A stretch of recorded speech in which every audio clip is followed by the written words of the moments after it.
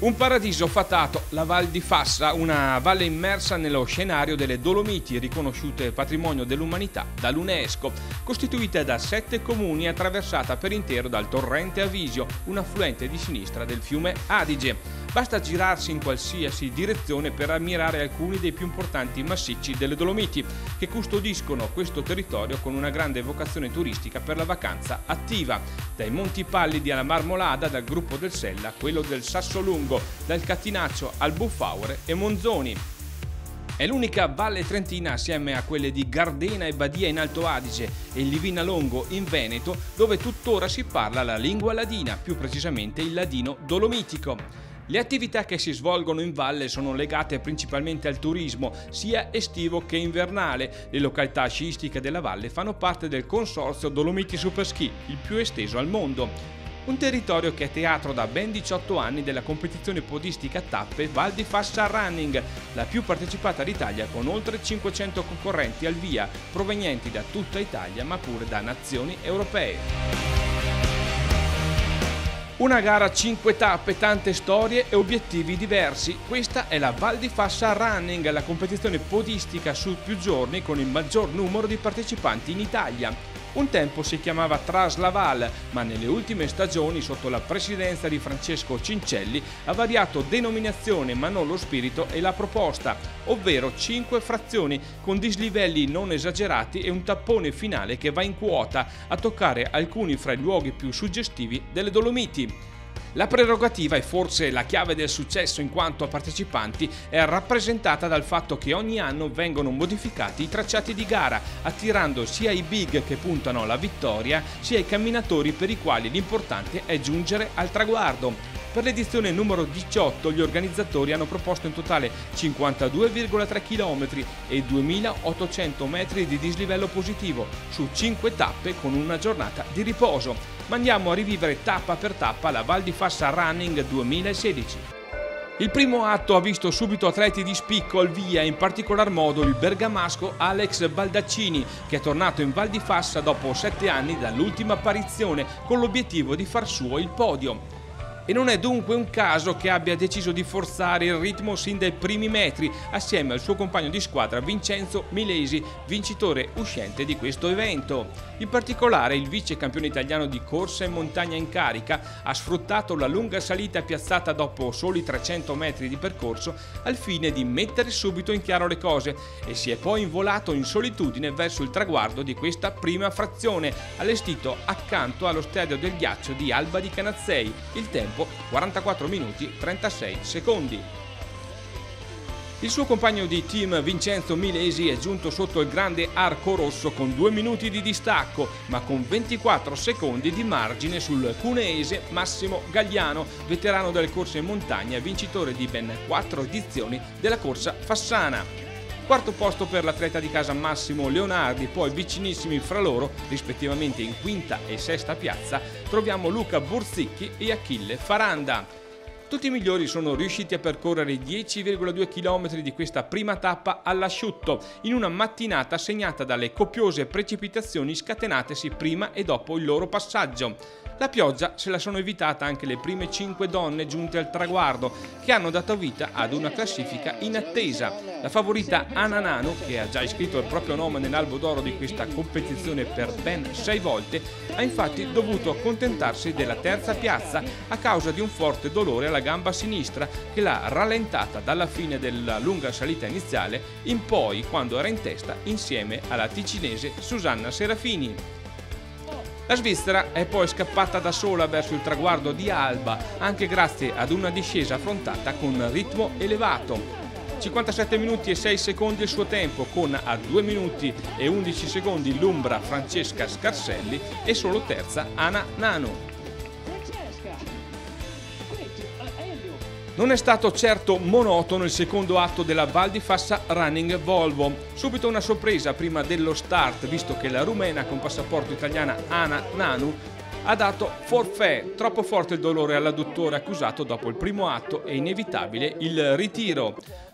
Sulla carta la seconda tappa della Val di Fassa Running Volvo, che prevedeva 9,7 km di lunghezza e 360 metri di dislivello positivo, non sembrava impegnativa come quella dell'esordio. Invece si è rivelata assai ostica per gli atleti in lizza per le medaglie. Dopo la partenza in località Fraine di Pera di Fassa, il cunese Massimo Gagliano ha deciso di forzare subito il ritmo, guadagnando una ventina di metri sui compagni di squadra Alex Baldaccini e Vincenzo Milesi. Ma quando il sentiero ha iniziato a salire, subito dopo le terme di Pozza di Fassa, i due bergamaschi hanno preso la testa, appaiati, transitando in testa in località Pocciace. Da quel momento è iniziata la lunga discesa che porta Pozza di Fassa dove Milesi, sempre sostenuto da Baldaccini, ha perso terreno nei confronti di Gagliano. Racchiusi in pochi secondi i tre si sono giocati il tutto per tutto nel tratto in pianura che riportava a Fraine. Ne ha avuto più di tutti Vincenzo Milesi che ha battuto allo sprint Alex Baldaccini dopo 42 minuti e 11 secondi di gara, infliggendo 7 secondi a Massimo Gagliano. In quarta posizione ha chiuso James Kraft, quindi Luca Borsicchi e il fassano Massimo Leonardi. Senza storia la gara al femminile con le prime tre della generale che hanno fatto praticamente gara individuale, ad eccezione di Angela Caudera, iscritta solo alla seconda frazione, che ha chiuso terza. Ognuna ha impostato il proprio ritmo con l'imperativo di gestire le energie. La ticinese di Bellinzona Susanna Serafini ha così chiuso sul traguardo con il tempo di 51 e 57, precedendo Francesca Scarselli, Angela Caudera e la giovane Sara Aimè Lepi.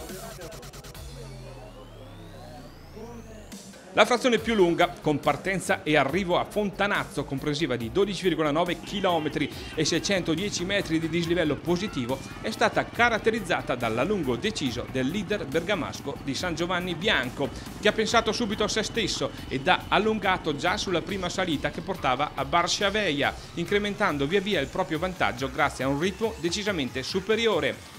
Non ha accusato cedimenti nemmeno sulla seconda ascesa verso Pian dei Pigui e nel finale pianeggiante lungo il fiume Visio sino al traguardo di Fontanazzo ha gestito in maniera ottimale il vantaggio e le proprie energie, chiudendo con il tempo di 52 e 19, mentre dietro si è accesa una bagarre per la lotta al secondo gradino del podio fra Vincenzo Milesi e Massimo Gagliano. Nella prima salita il bergamasco di Roncobello è riuscito ad allungare ma poi il cuneese è riuscito a raggiungerlo ed hanno fatto gara appaiati. L'esperto Gagliano sul suo terreno più congeniale della discesa ha provato a staccare il rivale che però ha stretto i denti. Inevitabile transito appaiati sul traguardo di Fontanazzo con un ritardo di 1,15 dal capo classifica dietro Massimo Leonardi, Luca Borzicchi e Mauro Rasom. Terza prova e terza affermazione incontrastata per la Svizzera di Bellinzona Susanna Serafini, la quale deve esclusivamente preoccuparsi di tenere il proprio passo. Ha chiuso con il tempo di 1 ora 06,20, staccando di 2 minuti e 02 l'Umbra Francesca Scarselli e di 3,42 la torinese Sara Aimè Lepè, quindi la bellunese Nada De Francesc, Debbie Ronney e Sara Baroni. La quarta e penultima tappa della Val di Fassa Running Volvo è risultata la più corta con partenza e arrivo a Moena dopo 9,4 km e 230 metri di dislivello.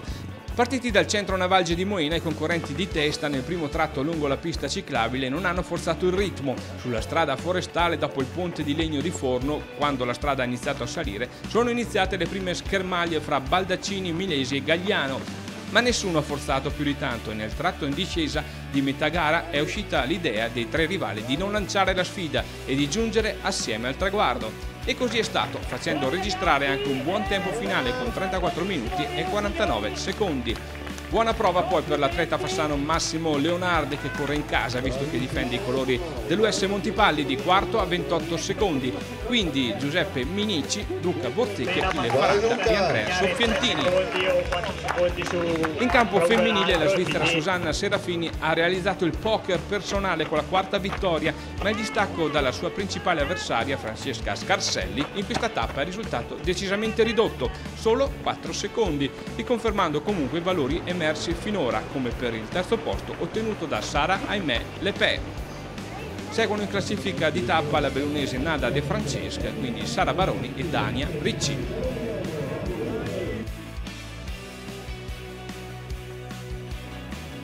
L'atto conclusivo della Val di Fassa Running coincide con il tappone dolomitico, l'ultima frazione che ha uno sviluppo esclusivamente in salita di 7,5 km e un dislivello di 1050 metri con partenza da Campitello di Fassa e arrivo ai piedi del Sasso Lungo e Sasso Piatto con il palio e il trofeo Corrodela, denominazione del luogo di arrivo.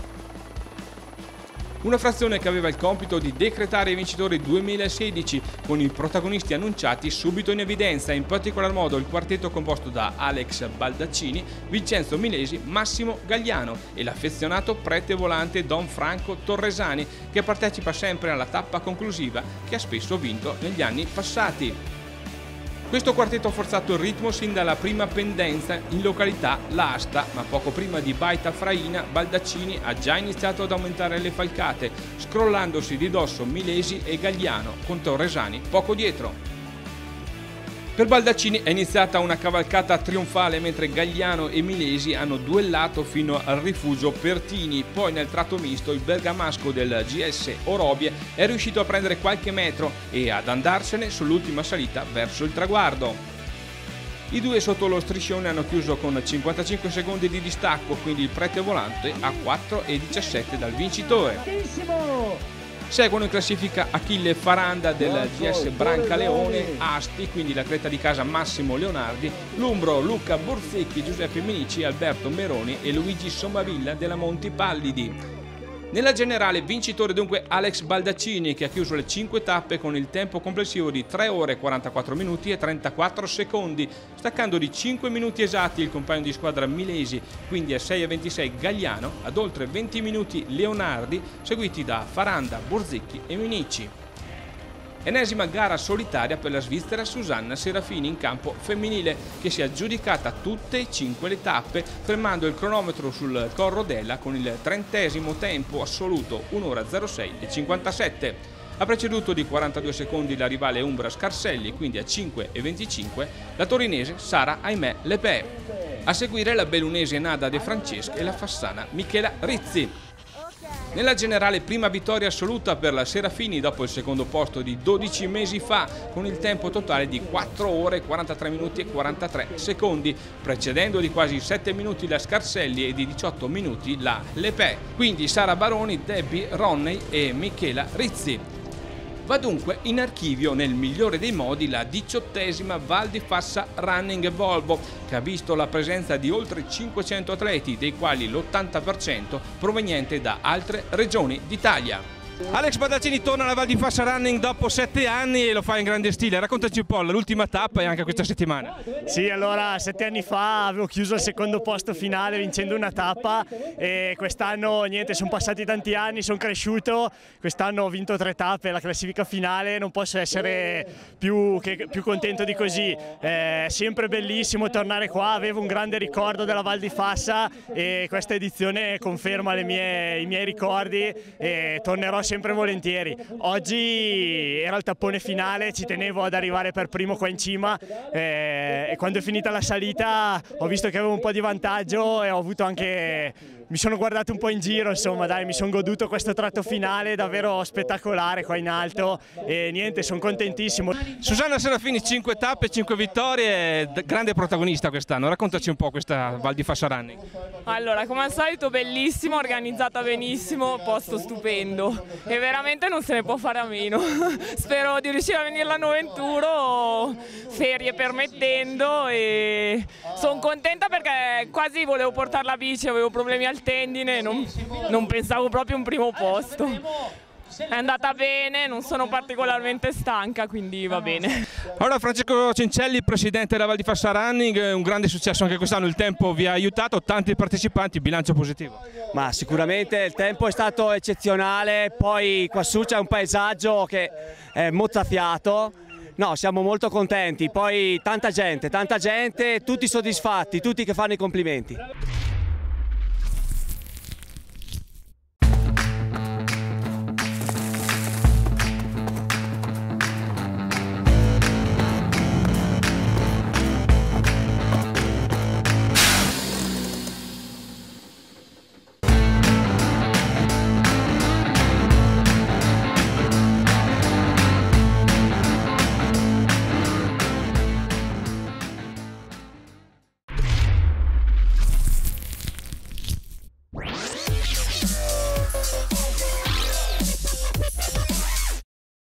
Alessandro Santoni, ventenne di Dro, località che dista un paio di chilometri dal centro di Arco che ospita la Coppa del Mondo di arrampicata sportiva. È uno dei giovani più promettenti della disciplina dello speed, della quale è diventato campione del mondo giovanile nel 2013. È il detentore del record assoluto italiano di questa categoria, avendo abbattuto il muro dei 6 secondi con 5,99. Vanta inoltre tre medaglie di bronzo ai mondiali assoluti, un titolo europeo e quattro medaglie tricolori. Lo abbiamo incontrato in occasione del Rockmaster. Da giovane ero molto vivace e su consiglio degli insegnanti delle scuole elementari ho iniziato a partecipare alle manifestazioni del Rock Junior e proprio qui vicino a casa mia dove ho trovato tanta felicità e passione in questo sport e quindi sono riuscito ad entrare nella squadra Arco Climbing dove ho iniziato il mio percorso sportivo. Dunque all'inizio partecipavo a tutte le gare con le varie discipline, sia lead, speed e boulder e fino a subito vedevo che la mia disciplina preferita era la speed, nella quale mi sentivo proprio meglio a mio agio, sentivo che me la giocavo meglio e che potevo dare meglio di me stesso. All'inizio quindi non ero così forte in tutte le discipline, man mano crescevo e finché sono riuscito a vincere i campionati italiani giovanili assoluti e da lì ho intrapreso la mia, la mia, scelta di seguire questo percorso nella speed. Ricordo dei risultati importanti, tante medaglie di bronzo ai mondiali giovanili, campionati europei vinti e sempre podi. Nel 2013 il mondiale giovanile vinto in Canada e il risultato più bello che, che, ho dentro di me, che tengo, è il bronzo di due anni fa Rockmaster, del quale riservo ancora grandi emozioni e spero di tirare fuori anche quest'anno.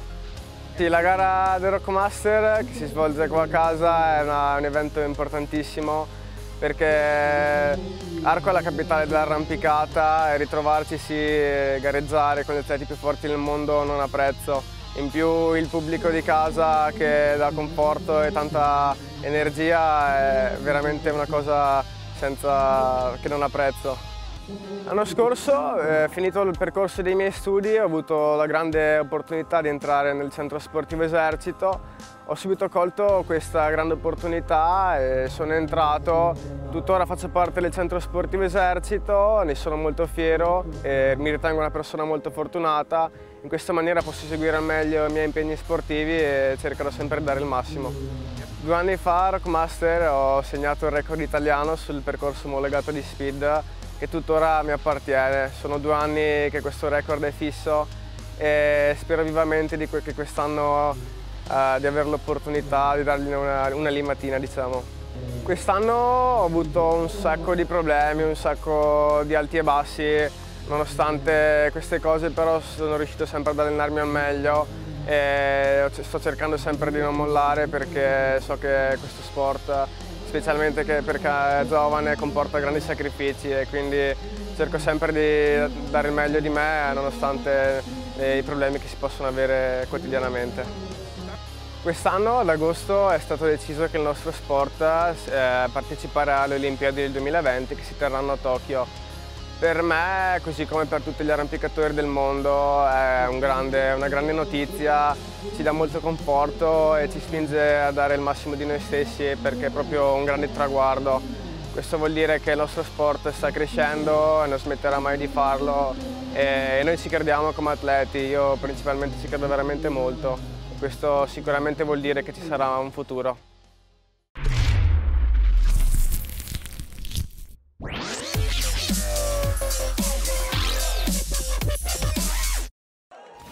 Imprinting straniero al 24 Gir di Mont, quarta tappa del circuito, la sportiva Mountain Running Cup. Stiamo parlando della spettacolare ed affollata gara di skyrunning disputata a Premana in provincia di Lecco su un percorso ridotto di 30 km e 2000 metri di dislivello a causa del maltempo della notte. Competizione dove lo svizzero Mark Lauenstein con un finale al cardiopalma e la rumena Ingrid Mutter hanno posto il proprio nome nell'albo d'oro. Erano in mille al via della competizione che si distingue da sempre per il numerosissimo pubblico che affolla i bordi del tracciato e soprattutto per i suggestivi alpeggi lambiti dal Gir di Mont che probabilmente nel 2017 avrà validità mondiale.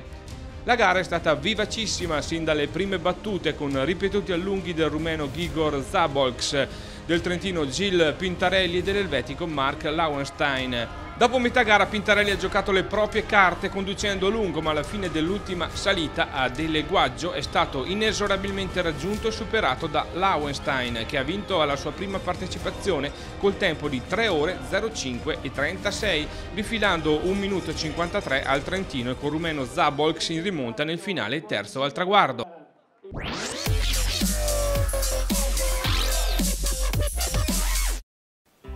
La chiamano l'Università delle gare automobilistiche in salita, una fra le competizioni con maggiore storia e prestigio in tutta Europa, che si sviluppa lungo i 17,3 km che da località Montevideo, poco sopra la città di Trento, porta a Vason, quasi in vetta all'Alpe della città.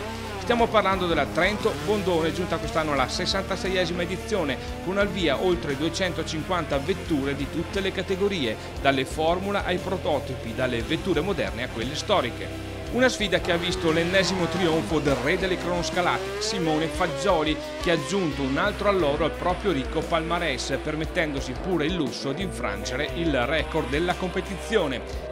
Il fuoriclasse fiorentino, alla guida della sua potente Norma Zitec, ha infatti migliorato di ben 3 secondi il precedente primato che aveva fatto registrare 12 mesi prima, fermando il cronometro sul tempone di 9 minuti 07 e 66.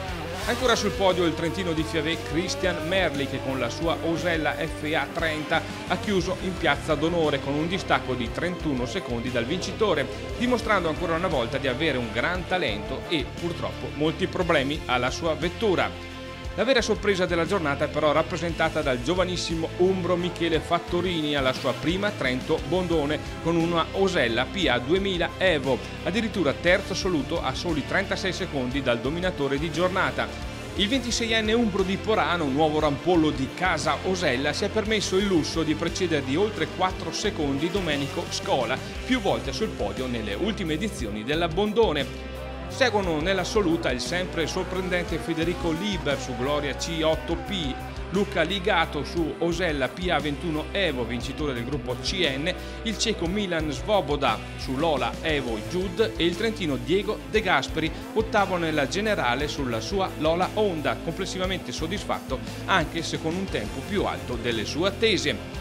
Particolarmente combattuta la sfida del gruppo GT dove ha trionfato il clesiano Marco Cristoforetti su Porsche 911 con il tempone di 10 minuti 49 secondi e 16, più veloce di 3 secondi e 99 nei confronti di Giuseppe Ghezzi su Porsche 997 GTR3. Per quanto riguarda il gruppo A, limpida vittoria del trentino Tiziano Nones su Citroen C4 davanti all'altra trentina Gabriella Pedroni su Mitsubishi Lancer, leader del campionato italiano. Nel gruppo B, affermazione del beneventino con passaporto trentino Antonio Migliuolo su Mitsubishi Lancer, che ha fermato il cronometro sul tempo di 11 minuti 29 secondi e 93, precedendo di soli 43 centesimi l'esperto bolzanino Rudy Bicciato.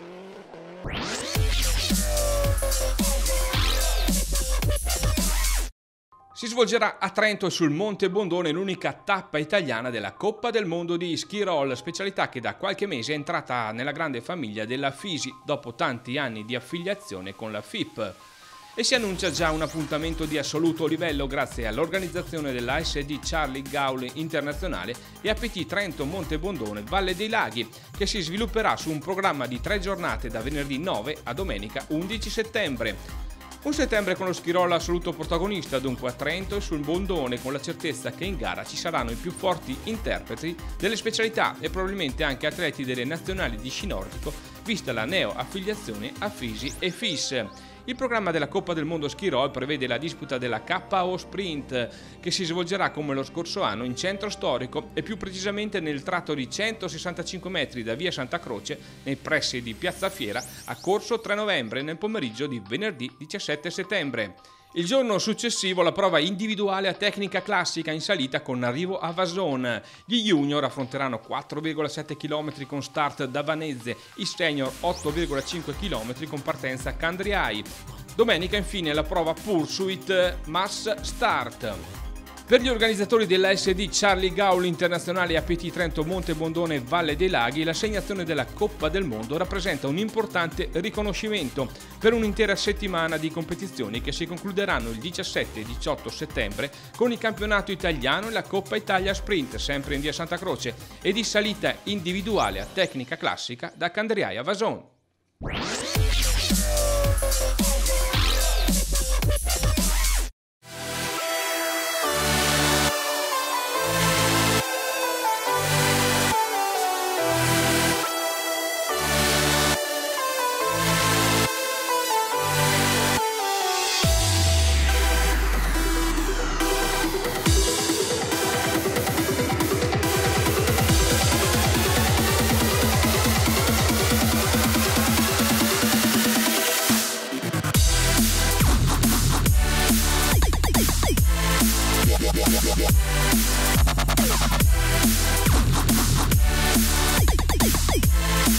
Yeah, yeah, yeah, yeah.